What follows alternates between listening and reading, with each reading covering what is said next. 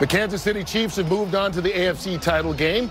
Now we'll find out if it'll be the Cowboys or Rams making it to the NFC Championship. Time to send it over to the Coliseum and Joe Buck. Joe. Curt, thank you. Yep, that's what's at stake here tonight.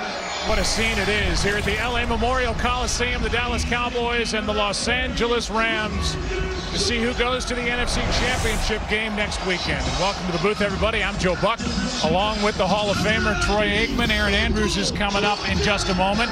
Let's talk about the Rams. For the majority of the season, Troy, they were the most dynamic team easily in the NFC. But down the stretch, they struggled a little bit offensively.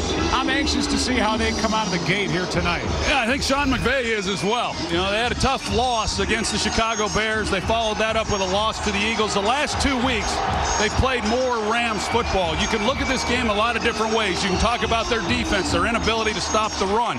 This game, in my opinion, comes down to Jared Goff. When he plays well, this team wins, and he's played well the last two weeks. Let's talk about the Dallas Cowboys. It is an extremely young roster that Jason Garrett has.